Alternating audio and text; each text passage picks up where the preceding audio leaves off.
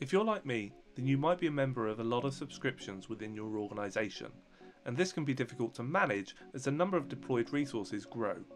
Thankfully, there's an easy way within the portal to manage the visibility of subscriptions.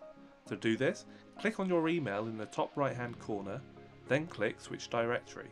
You're not actually going to switch directory, instead, from here you can set the default subscription filter to remove any subscriptions that you don't want to see.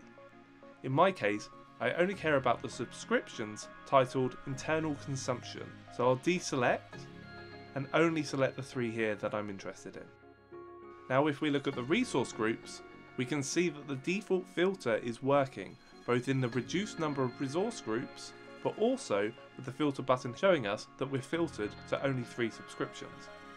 If we click this button, it allows us to change the filter on the fly, so that we can add any other subscriptions that we're a member of. This way we can still retain access to all the subscriptions should we need to interact with them in the future.